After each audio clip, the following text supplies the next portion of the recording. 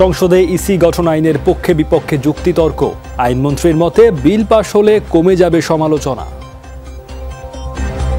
সংসদকে পাশ কাটিয়ে এই আইন আমরা করব না। কিন্তু সকল অংশীজনের মতামত ছাড়া তাড়াহুড়ো করে এত জনগুরুত্বপূর্ণ একটি আইন পাশ করা আইবাসের বেশি কিছু নয় বলে আমি মনে করি।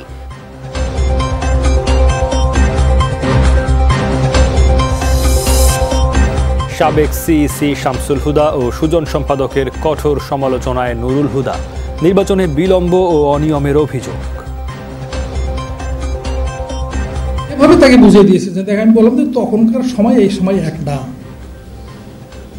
তখন ছিল যে অবস্থা, সেখানে কীভাবে তারা করেছেন ওই কমিশন, সেটা আমি জানি না। আর সে প্রশ্ন আমার করার দরকার নেই। র্যাবের ওপর নিষেধাজ্ঞা দিতে ইইউ পার্লামেন্টে দেয়া চিঠি এমপির ব্যক্তিগত। নজর আছে আগামী নির্বাচন নিয়ে মিড দ্য প্রেসে মিশন প্রধান। দেশের সব আন্দোলন সংগ্রামে গুরুত্বপূর্ণ ভূমিকা রেখেছেন কবি আবৃত্তিকাররা বঙ্গবন্ধু কবিতা উৎসব উদ্বোধন করলেন প্রধানমন্ত্রী।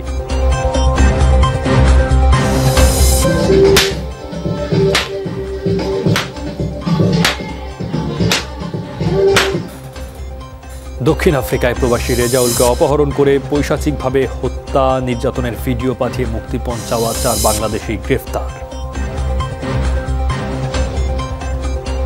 যারা এই জঘন্য কাজে লিপ্ত থাকবে রা- রাষ্ট্রীয়ভাবে তাদের পাসপোর্ট বাজেয়াপ্ত হোক পাশাপাশি তাদের পরিবারের সম্পদ বাজেয়াপ্ত করা হোক। যে চারজন আমি এদেরকে উপযুক্ত শাস্তি চাই এবং সর্বোচ্চ শাস্তি চাই। জলাধার উদ্ধারে রাজধানীর কুড়িলে ডিএনসিসির অভিযান। অবৈধভাবে বালু উত্তোলনে হুমকির মুখে তেঁতুলিয়ার ডাহুক নদী তীরের মানুষ। ব্যালে ডান্সার জিমন্যাস্টের মিশেলে জয়িতার তোলা ছবি ভাইরাল। নারীর চলার পথের সকল বাধা দূর হবে প্রত্যাশা ইরার। ব্যালে নাচটাকে ব্যালে পারফর্ম ব্যালে ব্যালেকে প্রমোট করতে চেয়েছি। আমার ইচ্ছে যে নতুন ব্যালে এবং আমাদের না- আমাদের দেশের যেগুলো দেশীয় নাচ এবং ব্যালে বিদেশি নাচ। এই দুটো নাচের সংমিশ্রণে একটা নতুন কিছু তৈরি করা।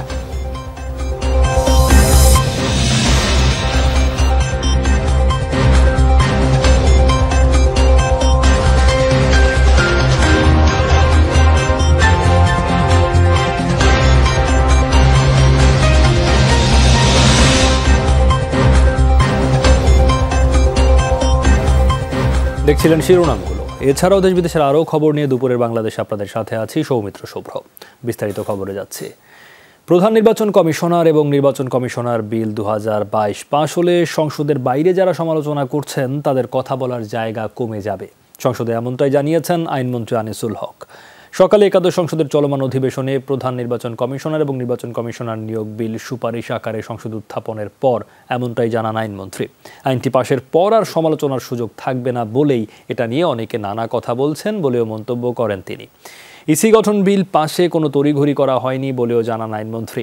এর আগে সংসদের আলোচনায় বিএনপির সংসদ সদস্য রুমিন ফারহানা বলেন, এই বিলের মাধ্যমে সরকার নিজের ইচ্ছের প্রতিফলন ঘটাচ্ছে। এছাড়াও সংসদের বিরোধী ও স্বতন্ত্র সদস্যরা বলেন, তড়িঘড়ি করে এমন আইন জাতির পিতার চেতনার সাথে সামঞ্জস্যহীন। মুক্ত আলোচনা এবং জনমত যাচাইয়ের সুযোগ না দিয়ে এই আইনের মাধ্যমে সংবিধান লঙ্ঘন হবে বলেও অভিযোগ করেন তারা। দ্রুতই নির্বাচনকালীন সরকার গঠনের জন্য প্রধানমন্ত্রীকে উদ্যোগ নেওয়ার আহ্বান জানান হারুনুর রশিদ। আমি তড়িঘড়ি করে করি নাই। দুই হাজার সতেরো সালে মাননীয় প্রধানমন্ত্রীর সাথে যখন রাজনৈতিক দলগুলির ডায়ালগ হয়, সংলাপ হয়, তখনই এই আইনের ব্যাপারে কথা হয়েছিল। কিন্তু সকল অংশীজনের মতামত ছাড়া, তাড়াহুড়ো করে এত জনগুরুত্বপূর্ণ একটি আইন পাশ করা আইবাসের বেশি কিছু নয় বলে আমি মনে করি। গত নভেম্বরে আইনমন্ত্রী বলেছিলেন, এই আইন এমন হওয়া উচিত যা গ্রহণযোগ্য হবে সবার কাছে। শুধু এক জলের কাছে গ্রহণযোগ্য হলে সেটি সার্বজনীন আইন হবে না। শামসুল হুদা কমিশন ও সুজন সম্পাদক বদিউল আলম মজুমদারের সমালোচনা করেছেন প্রধান নির্বাচন commissioner K M Nurul Huda. নির্বাচন কমিশন বিটে কর্মরত সাংবাদিকদের সংগঠনের আয়োজনে RFED talk with K M Nurul Huda অনুষ্ঠানে তিনি সমালোচনা করেন।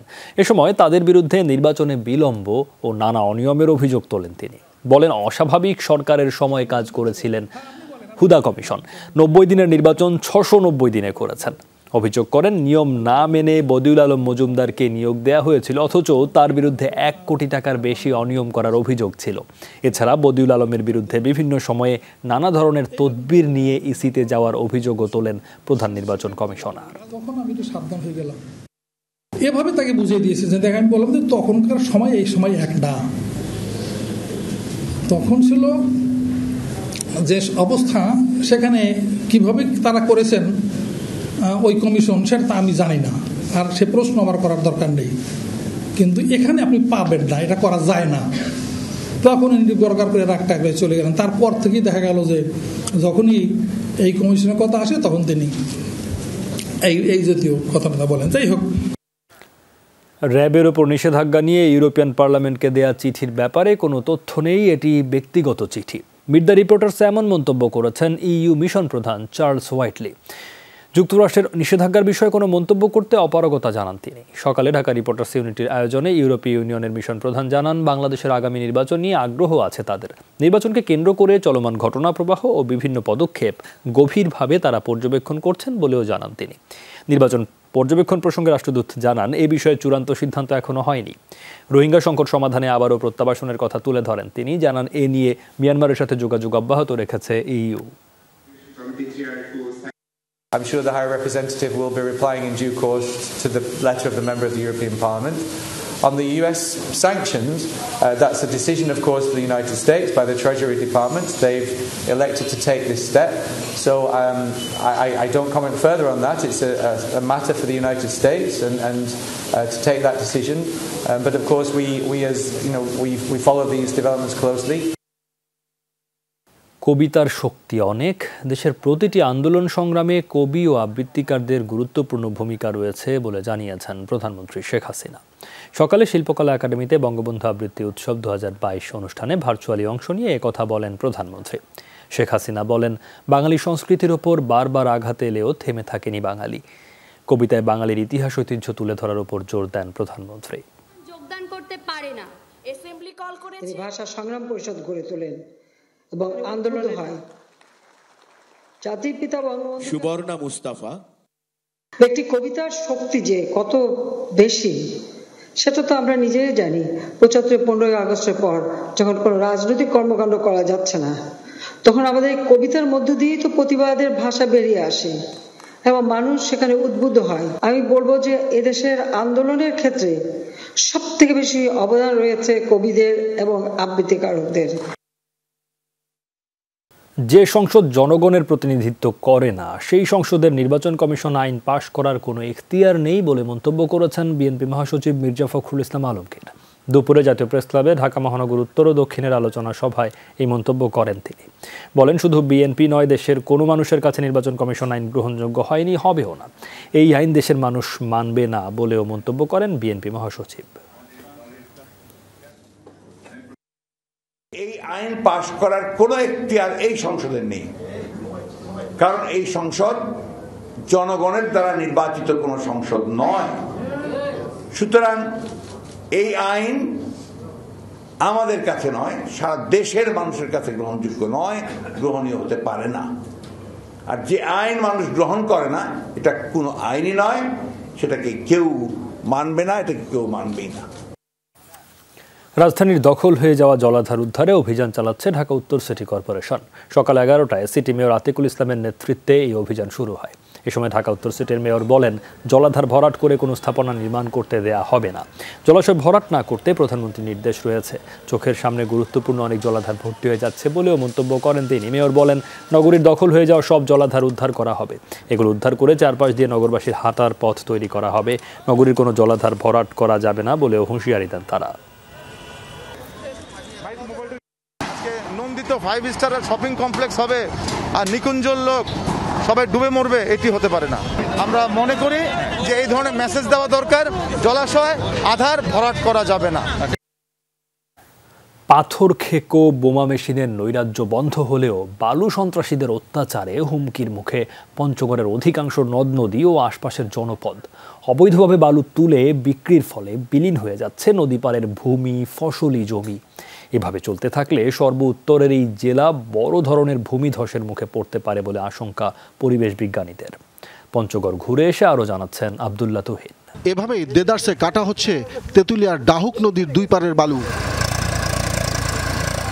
প্রতিদিন কত ট্রাক বালু এভাবে কেটে নিয়ে নদী তীরবর্তী মানুষকে হুমকিতে ফেলছে, তার কোনো হিসেব নেই। স্থানীয় প্রভাবশালীরাই কেটে কেটে বিক্রি করছে বালু।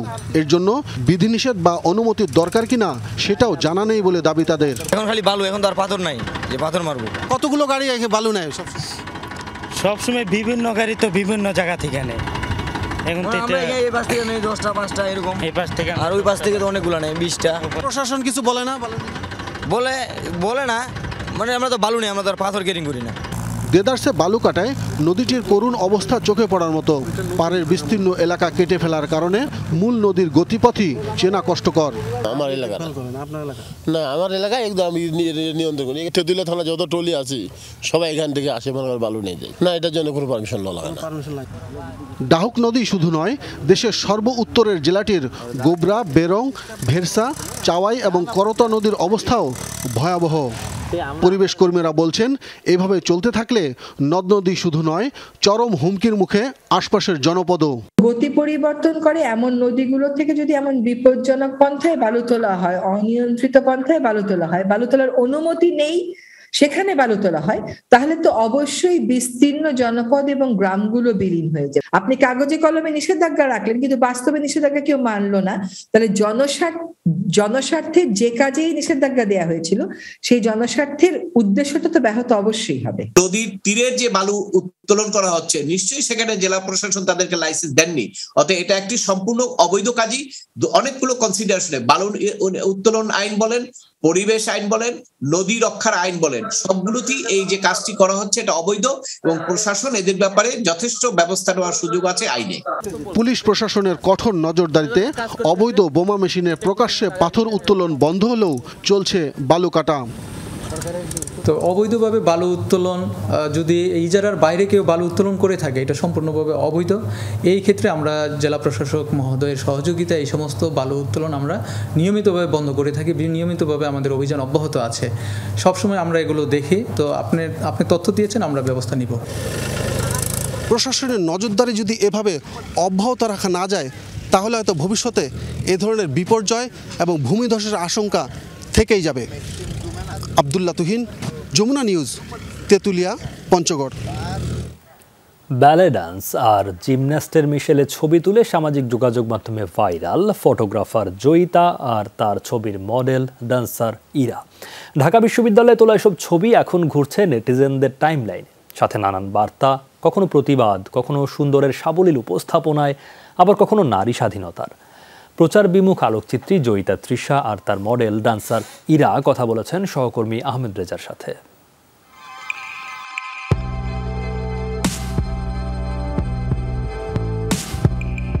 হতেই পারে স্বাধীনতন্ত্র কিংবা প্রতিবাদ, আবার তারুণ্যের বাদ ভাঙা জয়।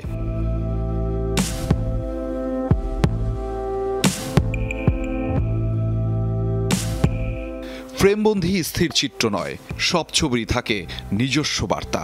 তেমনই কিছু ছবি সম্প্রতি ভাইরাল হয়েছে নেট দুনিয়ায়, যেখানে এক তরুণীকে দেখা গেছে ঢাকা বিশ্ববিদ্যালয়ের বিভিন্ন আইকনিক স্পটে।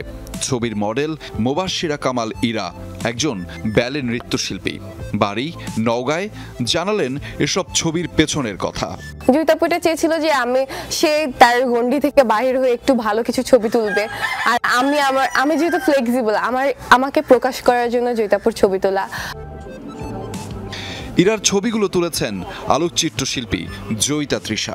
স্পট নির্বাচন সহ ফটোশুটের আইডিয়া বেরিয়েছে তার কাছ থেকেই। আমি আসলে ঢাকার আইকনিক জিনিসগুলোকেই মানে তুলে ধরতে চেয়েছি। পাশাপাশি ব্যালে নাচটাকে, ব্যালে পারফর্ম ব্যালে, ব্যালেকে প্রমোট করতে চেয়েছি। অন্যান্য মেয়েরা বা বাংলাদেশের জন্য একটা চর্চা হয় এই ধরনের পারফরমেন্সের এই ধরনের নাচের। অন্যান্য মেয়েরাও যেন আগ্রহী হয়। সাবিপ্রবির অনশনে যখন দেশের বিশ্ববিদ্যালয়গুলোর শিক্ষার্থীদের একাত্মতা, তখন তারুণ্য ও স্বাধীনতার প্রতীক হিসেবে সামনে এসেছে এসব ছবি। এতে ভালো লাগার পাশাপাশি বিস্মিত ইরা, তৃষা দুজনেই। রাজু ভাস্কর্য তো এমনিতেও খুব পাওয়ারফুল একটা ভাস্কর্য। ওটার প্রতিবাদের ব্যানার ওর মধ্যে দিয়ে একটা মেয়ের উড়ে যাওয়া পাখির মতো। মানে ফিল্মটা আমার কাছে মজার লেগেছে। আমার কাছে মনে হচ্ছে যে আমি এটাই পোট্রে করি। আমার মনে হয় যে এখানে একটা প্রোটেস্ট চলছে, তো আমি কেন এখানে জয়েন করতে পারব না? তখন আমার মনে হয় যে আমি এই স্টেপিংসের মাধ্যমে আমি এটা আরও সুন্দর করে ফুটিয়ে তুলতে পারি। কিছু করার? জয়িতার কাছে ধ্যান জ্ঞান পেশা ছবি তোলা। ব্যালে পারফরমেন্স ও নৃত্যের মিশেলে বিশ্বকে অবাক করতে চান নওগাঁ সরকারি কলেজের দ্বিতীয় বর্ষের শিক্ষার্থী ইরা। ছবি নিয়ে প্ল্যান হচ্ছে যে কাজ করে যাব আসলে। আমি আসলে কি পপুলার বা ভাইরাল হওয়ার কোনো ইচ্ছা নিয়ে কোনো কাজ করি না। আমার আসলে ভালো কাজ দিয়ে কথা যেটা কিনা মনের আমার মনের খোরাক আর কি। নাচটাকে নিয়ে পড়াশোনা করব। আমার ইচ্ছে যে নতুন ব্যালে এবং আমাদের না- আমাদের দেশের যেগুলো দেশীয় নাচ এবং ব্যালে বিদেশি নাচ। এই দুটো নাচের সংমিশ্রণে একটা নতুন কিছু তৈরি করা। বাংলাদেশে নারীর পথ চলাটা আরও মসৃণ হবে দূর হবে সকল বাধা এমন প্রত্যাশা দুজনেরই। আহমেদ রেজা যমুনা নিউজ ঢাকা। কে এই ব্যালে বালিকা মুবশিরা কামাল ইরা? রাজু ভাস্কর্যের সামনে শূন্য ভাষা বালিকার ছবি এখন নেট দুনিয়ায় ভাইরাল নৃত্যশিল্পী ইরার জন্মস্থান নওগাঁয়। সেখানে অনুশীলন বেড়ে ওঠা। এবার এইচএসসি পরীক্ষা দেবেন তিনি। বড় হয়ে কি হতে চান তা জানব শফিক ছোটনের প্রতিবেদনে। নাচের এই ধরনকে বলে ব্যালে ব্যালে জিমন্যাস্টিক মিলিয়ে পারফর্ম করেন নওগাঁর শিল্পী মুবাশিরা কামাল ইরা। নাচ করতে ভালোবাসেন ইরা। শৈশবে নওগাঁয় সুলতান মাহমুদের কাছে শিখেছেন। পরে ঢাকায় ভরতনাট্যম দুই হাজার একুশ থেকে সাধনার সঙ্গে কাজ করছেন ইরা। ছোটবেলা থেকে কন্টেম্পোরারি নাচের প্রতি খুব একটা মানে ইয়ে ছিল। আর জিমন্যাস্টিকও আমার খুব ভালো লাগতো। তো আমার সেই মানে ভালোবাসা থেকে আমি আগে থেকে একটু একটু একটু একটু করে ট্রাই করতাম। পড়ালেখা আর নাচের পাশাপাশি জিম স্কেটিং টেনিস ও ক্রিকেট খেলেন। সবটাতেই পারদর্শী ইরা। মাত্র আঠারো বছর বয়সেই এত কিছু। কাজটা কি সহজ ছিল? মা আমাকে সবসময় সাপোর্ট করেছে। মা ছাড়া অন্য কোনো সাপোর্ট ছিল না। আস্তে আস্তে এখন চেঞ্জ হয়েছে ব্যাপারটা। এখন প্রতিবন্ধকতাটা অনেকটা কম। সবার আগে নাচটাকে তার মানে অন্তরের অন্তঃস্থলে নিতে হবে এবং তার উপর কাজ করতে হবে। নওগাঁ সীমান্ত পাবলিক স্কুল থেকে এসএসসিতে পেয়েছেন জিপিএ ফাইভ। পড়ছেন সরকারি কলেজে। চার বোনের মধ্যে ইরা তৃতীয় বড় দুই বোন আলাদা প্রতিভার অধিকারী। শুধু মেয়ে হিসেবে নয় গড়ে উঠছেন প্রকৃত মানুষ হিসেবে। এবার মা বাবার স্বপ্ন পূরণের পালা। একশো ভাগ স্যাটিসফাইড এটা বলা যাবে না। আমরা চাই যে ও এই নাচ নিয়ে সারা পৃথিবীতে বাংলাদেশকে পরিচিতি করুক, বাংলাদেশের সুনাম বয়ে আনুক, আরও বড় বড় ইভেন্টে অংশগ্রহণ অংশগ্রহণ করুক। মফস্বল শহরে মধ্যবিত্ত পরিবার থেকে পড়ালেখা ও অনুশীলন করে সাফল্য এনেছেন একের পর এক। সবাইকে তাক লাগিয়ে দিয়েছেন। আন্তর্জাতিক পর্যায়ে পারফর্ম করে দেশের সুনাম অর্জন করতে চান ব্যালে ব্যালিকা ইরা। শফিক ছোটন, যমুনা নিউজ, নওগাঁ। আন্তর্জাতিক অঙ্গনের একটি খবর এবার। প্রবল তুষারঝড়ে অচল মধ্যপ্রাচ্য থেকে ইউরোপের একাংশ। বুধবার বিরল ও ভারী তুষারপাত হয় জেরুজালেমে। একদিনের জন্য বন্ধ অঞ্চলটির সব শিক্ষা প্রতিষ্ঠান। আলাক্সা এলাকায় ইসরায়েলি নিরাপত্তা সদস্যদের লক্ষ্য করে বরফের গোলা এবং পাথর নিক্ষেপ করায় গ্রেফতার হয়েছেন বাইশ ফিলিস্তিনি। দুর্ভোগে গ্রিস ও তুরস্ক। দেশগুলোর পরিস্থিতি মোকাবেলায় নেওয়া হচ্ছে সামর্থ্য অনুযায়ী পদক্ষেপ। মসজিদ প্রাঙ্গণে আনন্দ উৎসবের মূল কারণ তুষারঝড়। বহুদিন পর দেড় ফুটের মতো তুষারপাত হয়েছে এলাকাটিতে। তাই খুশি বহিঃপ্রকাশে রাস্তায় নেমে আসেন ফিলিস্তিনিরা। বরফ গোলা ছুঁড়ে প্রকাশ করছিলেন অভিব্যক্তি। অনেকেই উঁচুতে ওড়ান ফিলিস্তিনের পতাকা। এরই মাঝে ইসরায়েলি নিরাপত্তা সদস্যদের লক্ষ্য করে পাথর নিক্ষেপের অভিযোগে গ্রেফতার হন অনেকে। বৃহস্পতিবার অঞ্চলটির সব শিক্ষা প্রতিষ্ঠান বন্ধ, অফিস আদালতও চলবে ঘর থেকেই। দ্রুত বরফ অপসারণের মাধ্যমে আন্তর্জাতিক বিমানবন্দর পুরোপুরি চালু করতে তৎপর ইস্তাম্বুল। বুধবার সীমিত পরিসরে কিছু ফ্লাইট চলাচল শুরু হলেও রয়ে গেছে ভোগান্তি। উনত্রিশ বছর পর এতটা বরফ পড়ায় কিছুটা বিপর্যস্ত আনাতলিয়াও। চূড়ান্ত দুর্ভোগে পড়েছে তুর্কি শহরগুলোর বাসিন্দারা। মাঝ রাস্তায় বাস ট্রাকের মতো যানবাহন আটকা যার কারণে সৃষ্টি হয়েছে তীব্র যানজট। ভারী তুষারপাত আগেও ইস্তাম্বুলে হয়েছে তবে এতটা দুর্ভোগ এই প্রথম দেখছি। গতরাতে তিনবার বাড়ি যাওয়ার উদ্যোগ নিয়েছিলাম কিন্তু মাঝপথ থেকেই ফেরত আসতে হয়েছে অফিসে। কখনোই এমন সংকটে পড়িনি। সোমবার থেকে বৈরী আবহাওয়ার কবলে গ্রিসের রাজধানী এথেন্স। প্রশাসনিক ঘাটতির কারণে দ্রুত উদ্ধার কাজ চালাতে না পেরে বিব্রত খোদ প্রধানমন্ত্রী। তীব্র তুষার ঝড়ে রাস্তায় ঘণ্টার পর ঘণ্টা আটকা গ্রিকবাসীর কাছে ক্ষমা চাইছি। এর দায়ভার সম্পূর্ণ সরকারের। আবহাওয়ার পূর্বাভাসে বলা হয়েছে আগামী কয়েকদিন বহাল থাকবে তীব্র তুষারপাত।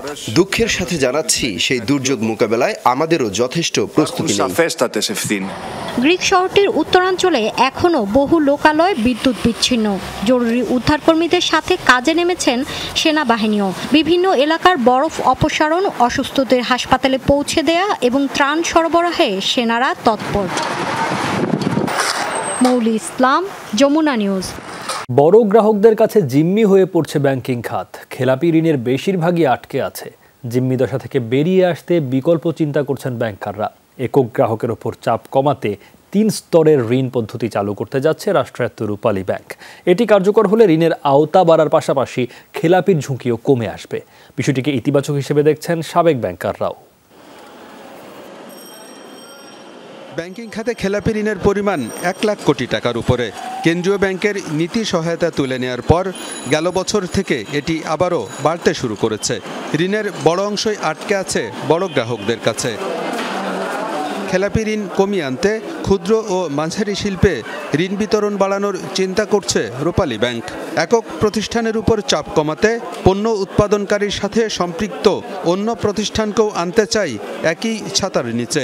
এটি খেলাপি ঋণ কমিয়ে আনতে সহায়তা করবে বলে মনে করেন সাবেক ব্যাংকাররাও। সাধারণত ম্যানুফ্যাকচারারদেরকে ঋণ দিয়ে থাকি। এটার সঙ্গে যারা তাকে কাঁচামাল সাপ্লাই দেয়, এদেরকেও লোন দিব। আর যাদের কাছে সে মাল বিক্রি করে, এই ফিনিশ গুডস ডিলারদেরকেও লোন দেবো। আমরা যে একটা নির্দিষ্ট গ্রুপের কাছে বেশি ঋণ দিয়ে রাখতেছি, যখনই এই লোনটাকে বিভাজন করে কাঁচামালের সাপ্লাইদেরকে একটা অংশ দিই আর ডিলারদেরকে একটা অংশ লোন দিয়ে দিই, তাহলে তার মূল লোনটা একটু কমে যাবে। ফ্যাক্টরিংয়ের মাধ্যমে যদি এই ফাইন্যান্সিংটা করা হয়, তাহলে কোনো বড় রিটেইল বড় রিটেইল অথবা কর্পোরেট রিটেইল অথবা কোনো এক্সপোর্টার তারা ওই ওয়ার্ক অর্ডার ব্যাংকে রেখে ফ্যাক্টরিং কনসেপ্টের মাধ্যমে তারা যদি লোন নেন, তাহলে সেই লোনটা চেকের মাধ্যমে যদি যিনি বায়ার কিনবেন, শোধ করেন, তাহলে অটোমেটিক্যালি এটা খেলাপি হওয়ার সুযোগটা অনেক অনেক কম মানে মোটেও নাই। ব্যাংকাররা বলছেন তুলনামূলকভাবে ছোট উদ্যোক্তাদের মধ্যে ঋণ খেলাপির প্রবণতা কম। অর্থের অনিশ্চয়তা দূর হলে তারা আরও বেশি উদ্যোগী হবে। এজন্য এজেন্ট ব্যাংক এবং উপশাখাকে কাজে লাগানোর পরামর্শ সাবেক ব্যাংকারদের। আর আমরা যদি কর্মসংস্থান bank Ansar VDP bank NGO এগুলি যদি তুলনা করি দেখা যাবে ওই ক্ষুদ্র ঋণ গ্রহীতাদের ঋণের আদায়ের হার কিন্তু ছিয়ানব্বই পার্সেন্টের উপরে। পক্ষান্তরে এইখানে আদায়ের হার অনেক কম। তার মানে যদি সরলীকরণ করি, তাহলে দেখা যাবে বড়দের কাছে যে ঋণটা সেটা আটকে আছে। এসএমই ফাইন্যান্সিংয়ের যদি বিভিন্ন শাখা তৎপরভাবে মনিটরিংয়ের মাধ্যমে সুপারভিশনের মাধ্যমে আরও জোরদার করা যায়, তাহলে খেলাপি ঋণের পরিমাণ একক পার্টির থেকে যেমন কমবে, পরিমাণেও বেশি লোকের কাভারেজ দেওয়া যাবে এবং তাতে করে চাঙ্ক অফ সাপ্লাই সাইড সেই সাইডগুলো কিন্তু অনেক স্ট্রং এবং রেগুলার হবে। তবে সময় মতো এবং গুণগত পণ্যের সরবরাহ নিশ্চিত করা চ্যালেঞ্জ বলে মনে করেন ব্যাংকাররা। তাই এটি বাস্তবায়নে তদারকি জোরদার করতে হবে। আলমগীর হোসেন, যমুনা নিউজ, ঢাকা। পটুয়াখালীর উপকূলের জেলেরা এখন শুটকি মাছ তৈরিতে ব্যস্ত সময় পার করছেন। কীটনাশক ছাড়া রোদে শুকিয়ে বাজারজাত করায় এখানকার শুটকি মাছের রয়েছে বিশেষ সুনাম। কিন্তু এই শিল্পের জন্য স্থায়ী পল্লী গড়ে ওঠেনি। আর পুঁজি সংকটে হতাশায় দিন কাটছে এখানকার ব্যবসায়ীদের। সাগর থেকে ধরে আনা হয় হরেক রকম মাছ।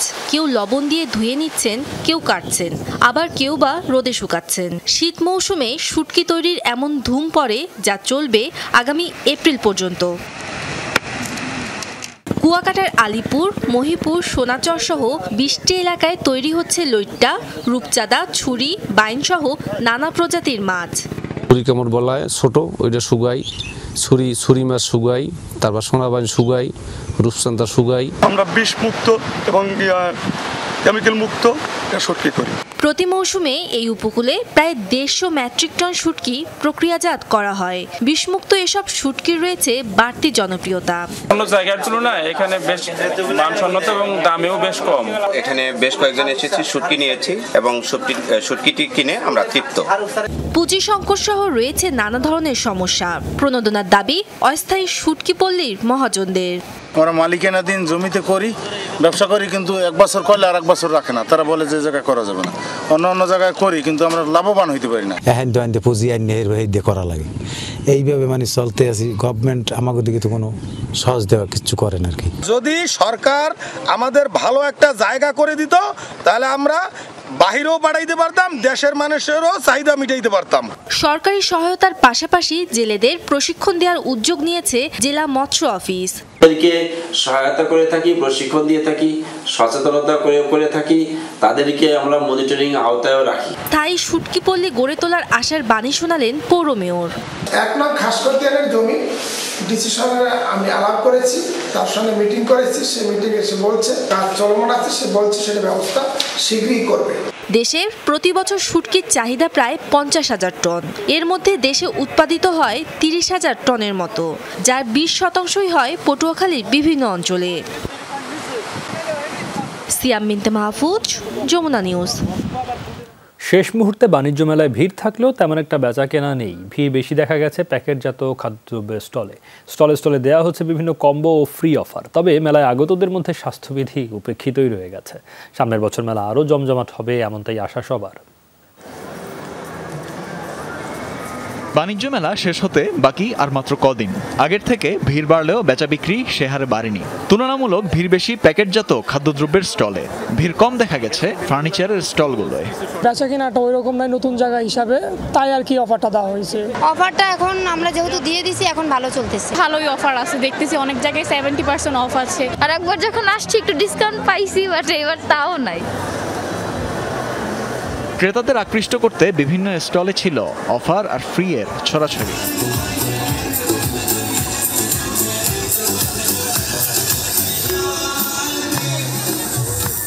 এই শীতকালেও আইসক্রিমের স্টলগুলোয় লোক সমাগম ছিল চোখে পড়ার মতো। ক্যারট ডিলাইট আছে অরেঞ্জ ব্লাস্ট আছে কোকোনাট চাঙ্ক আছে এগুলো হচ্ছে ন্যাচারাল আইসক্রিম প্রত্যেকটাই। আমরা মানুষকে কনসেপ্টটা যেন আইসক্রিমটা ন্যাচারালি যে কিছু করা যায় এই কনসেপ্টটাকে চেঞ্জ করার জন্য মূলত ন্যাচারাল আইসক্রিমগুলো নিয়ে এসেছে। ফাইভ থাউজেন্ড টাকার জিনিস এক হাজার আটশো টাকায় ডিসকাউন্টে এই পুরো প্রোডাক্টগুলো আপনাকে কাস্টমারদেরকে দিচ্ছি আমরা। আমাদের সব প্রোডাক্টের উপরে টোয়েন্টি ফাইভ পার্সেন্ট করে অফার দিছি আর কিছু আমাদের পাঁচ পাঁচটা কম্বো আছে হ্যাঁ যেগুলোর মধ্যে আমরা অলমোস্ট ফর্টি পার্সেন্ট করে অফ করছি। করোনা সংক্রমণ বৃদ্ধি পেলেও মেলায় আগত অনেকের মধ্যেই স্বাস্থ্যবিধি মানতে অনীহা দেখা গেছে। মুখের বদলে মাস্ক পকেটে রেখে চলাফেরা করেছে মেলায় আসা অধিকাংশ মানুষ। মাস্ক খুলে রাখছে ইয়ের ওই যে বৃষ্টির কারণে আর কি মাস্ক হ্যাঁ হ্যাঁ না মাস্ক অবশ্যই সবসময় হ্যাঁ অবশ্যই সবসময় পড়তে হবে। অল টাইম অলওয়েজ পড়তে হবে। এত ছোট বাচ্চা এটা সে কীভাবে মাস্ক ওর মাস্ক তো হয়ই নেই। করোনার জন্য অনেকে ভয় পাচ্ছে ও লোক কিছু আসতেছে কিছু আসতেছে না।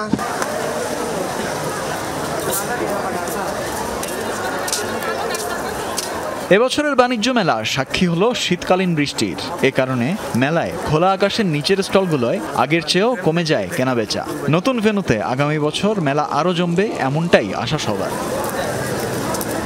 তানফির মৌসুম, যমুনা নিউজ, ঢাকা। আজ বাদে কাল হচ্ছে তারকাদের ভোট। গতকাল শেষ হয়েছে প্রচারণা, তবে নানা নাটকীয়তা ঘিরে এখনও আলোচনা চলছে সবখানে। রাত পোহালেই তারকাদের নির্বাচন। শুধু এফডিসি নয়, যে নির্বাচন নিয়ে আলোচনা সমালোচনা চলছে সবখানে গত দুই কমিটিতে থাকা মিশা সওদাগর ও জায়েদ খানকে চ্যালেঞ্জ জানাতে এবার প্যানেল গড়েছেন এক সময়ের জনপ্রিয় নায়ক ইলিয়াস কাঞ্চন। তার প্যানেলে সাধারণ সম্পাদক প্রার্থী অভিনেত্রী নিপুণ।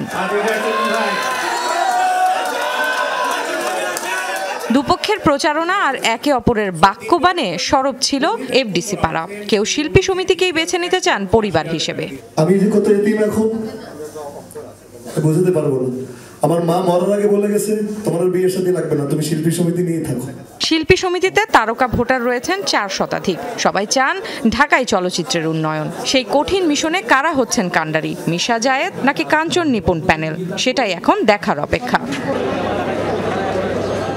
ন্যান্সি যমুনা নিউজ ঢাকা চট্টগ্রামের আঞ্চলিক ভাষায় মেতেছেন দলটির দেশি বিদেশি ক্রিকেটাররা কেনার লুইস শন টেইট থেকে শুরু করে আকবর আলীরাও চট্টগ্রামের ভাষায় কথা বলার চেষ্টা করেছেন দেখে আসি মজার সেই video Chite merit. Hey, Canisolo. Hi, Suwala Basha. Modu hey hey, Bisharena. হন হারনে On Harore. ভালোবাসা Balobasha.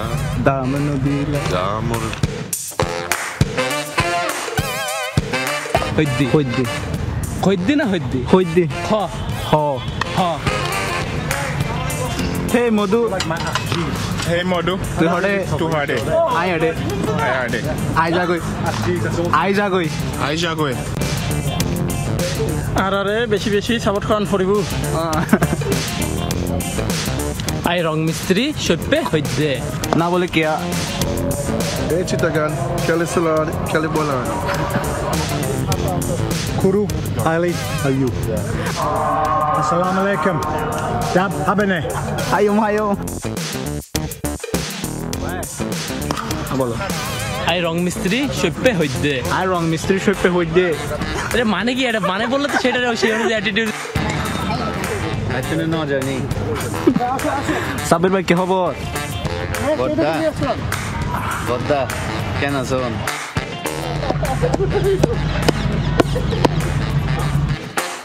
Kala চলিব।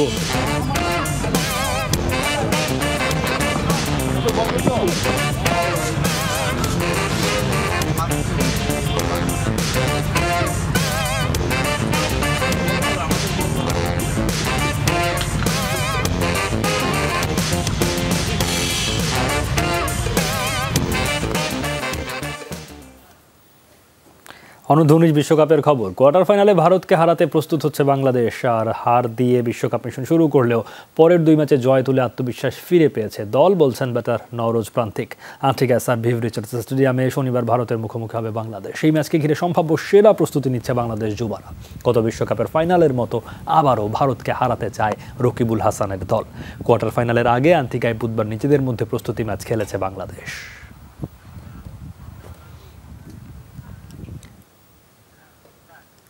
ফরচুন বরিশালের ডেরায় যোগ দিয়েছেন আফগানিস্তানের স্পিনার মুজিবুর রহমান। চট্টগ্রাম পর্বের শুরু থেকে এই ডানহাতি অফ স্পিনারের সার্ভিস পাবে সাকিব আল হাসানের দল। BPL and Barishal team games BPL এ খেলতে এসে আমি খুবই আনন্দিত। বরিশাল দলের হয়ে খেলাটা আমার জন্য আনন্দের। বরিশালের আগের তিনটি ম্যাচে আমি দেখেছি তারা খুবই ভালো দল। এই দলের জয়ে আমি অবদান রাখতে চাই এবং শেষ পর্যন্ত দলটিকে নিয়ে যেতে চাই। গেমস দুপুরের বাংলাদেশের প্রথম ঘণ্টা থেকে বিদায় নিচ্ছি। পরের ঘণ্টার খবর নিয়ে আপনাদের সঙ্গে থাকবেন সহকর্মী ফারহানা ন্যান্সি সঙ্গেই থাকুন।